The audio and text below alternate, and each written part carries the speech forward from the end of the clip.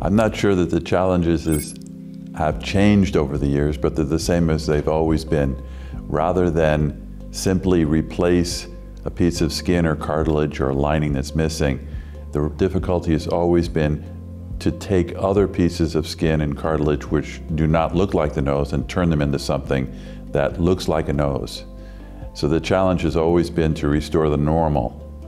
And the big change has been a, a, from a traditional method, which has been used for hundreds of years, to just fill a hole.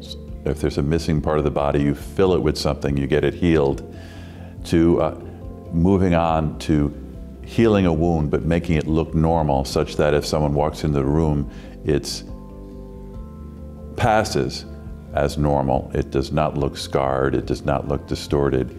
Uh, it's really a normal living structure that allows people to return to their normal life. Oh, I think the changes have been the acceptance of the forehead flap, the acceptance of restoring lining with intranasal tissue, especially by folding the forehead flap for lining, which has been done for hundreds of years, but only really has, uh, has uh, reached a, a, level of finesse to make it really worthwhile.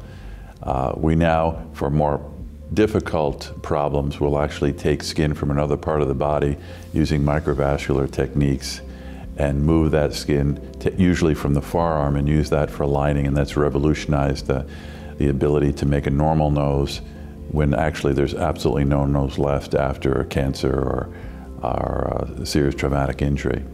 There's lots of new techniques, and the question is which one is helpful and which one will disappear.